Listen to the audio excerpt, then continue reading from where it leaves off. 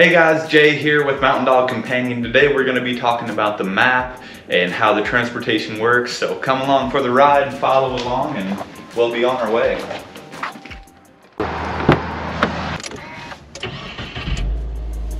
Okay guys, so we're heading out to visit one of our litters, um, one from Millie and Jose's litter, and he's about six weeks old. Uh, I'm gonna be hanging out with Max primarily and just having a good time talking a little bit about the transportation. So on our way right now, we got about a 10 minute drive.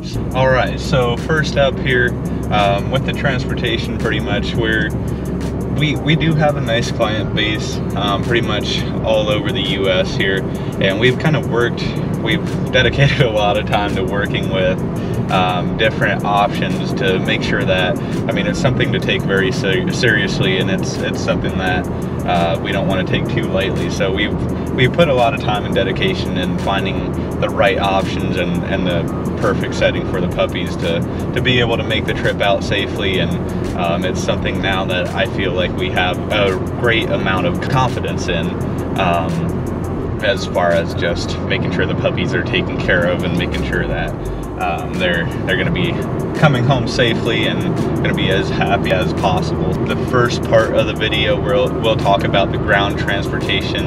Um, the good friend of mine, his name's J.R. Kime, and basically um, what he does is he drives from um, anywhere on the East Coast, uh, from ranging from North Carolina to basically um, New York is kind of where his range is and he would drive out, uh, bring the puppy to your house.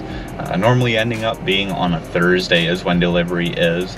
Now one thing I really like about it is he actually starts off late on Wednesday evening. So um, it's a very direct trip. He has three different routes going out for the East Coast. So it's always Wednesday evening late pickup and being delivered on Thursday at some point depending on where you're at. Um, now his north, like Chicago area um, run is a little bit different. My brother actually helps him out on that run. Um, and it's a weekend trip, so my brother actually starts off on Friday evening um, and pretty much makes a trip out to Indianapolis and then up to Chicago and looping back through Toledo and coming back down um, through Cleveland. So um, it's a pretty nice trip. It's a nice shorter trip too, um, and he just he does a really good job as well.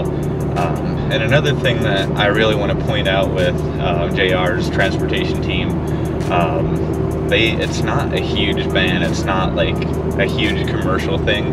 It's more of a family-based thing. So they they have um, your smaller SUVs, maybe even a minivan and it's just really nice setup or a really nice setup and basically gets very well taken care of. Each puppy is they they can ded dedicate more time directly to each individual puppy. So we're almost there we're about five minutes out um, and but I guess first before we get there I want to talk about flights a little a little bit um, primarily the nanny flight part of it.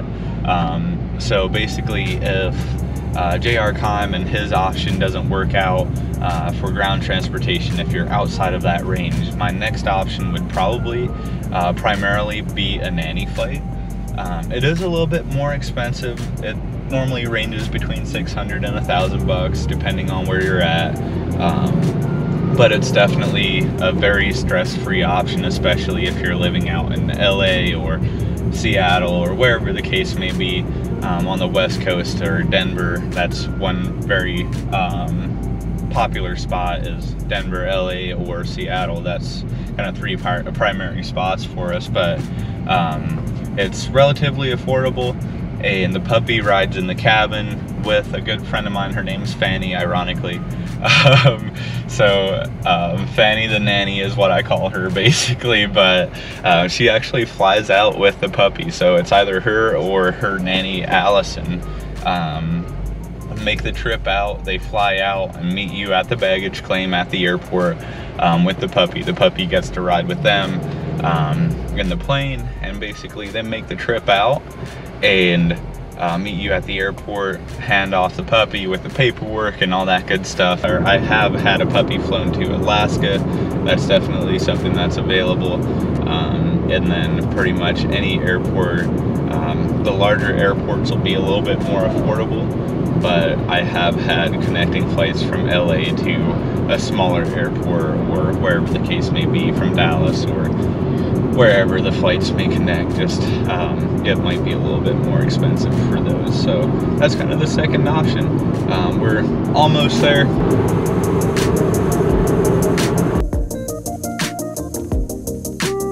Guys, we finally made it here, hanging out with Max. Um, he's Wendell's little friend. Um, Wendell definitely keeps him keeps him busy. Um, but he's doing good, and this is Max, the Bernese sweet little chunk. He's actually, he is adopted. Um, he was pick number one in the litter. All right, guys, so we got Max here just hanging out. He's having a good time. Super sweet little guy. Super excited to see me, um, as always. But um, anyway, so the last option I kind of have, um, if budget is a thing, or if you guys are um, kind of looking for this option, or if you're um, interested in this, especially if the puppy, so with the nanny flight, um, the puppy can't be over 20 pounds. So that's one thing I tend to run into with Bernese Mountain Dogs. Um, they tend to be, come here buddy, come here bud. They tend to be, uh, he just wants to play with Micah. Um, they tend to be almost pushing that weight limit at like 10 pounds. Um, so, or sorry, at almost at 10 weeks and sometimes even earlier. I've had one puppy from Denali's litter that was actually eight and a half weeks old and she was 20.8 pounds. So, um, and it was a girl. So that's, that's definitely a crazy part of it. But you do get into that when you're um, looking at your European style Berners and uh, some of your bigger American style Berners. So uh, Max here, he's he's definitely your American style. He's about six weeks old, but he's got a really nice face and nice size to him as well. So super sweet little guy. But uh, with the with the uh, cargo flight, so basically how it works, we try and primarily fly with American Airlines. Um, they kind of have the best um, transportation team when it comes to cargo flights. They just do a really good job, um, as good as you really can. He would, uh, the puppy would fly under the cab or under the plane um, in the cargo area, but they do a really good job. We get to kind of get his carrier ready, make sure he's comfortable, have some blankets in there, um, and make sure he's or the puppy is situated before flying out.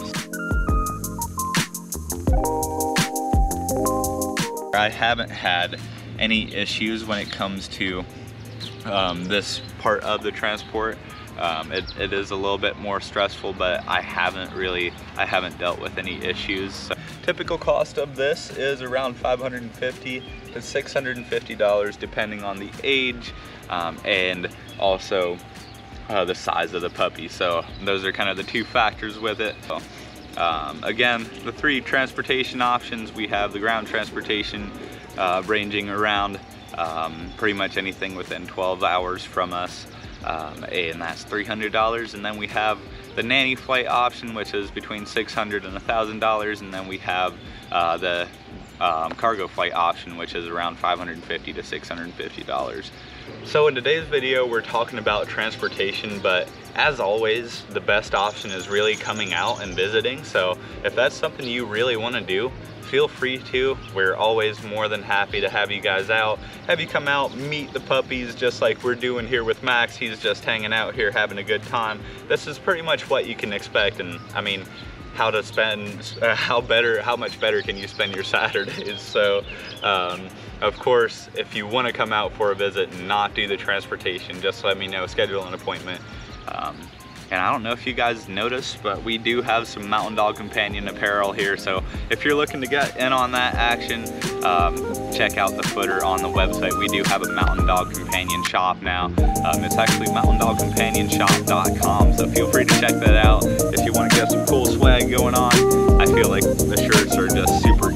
quality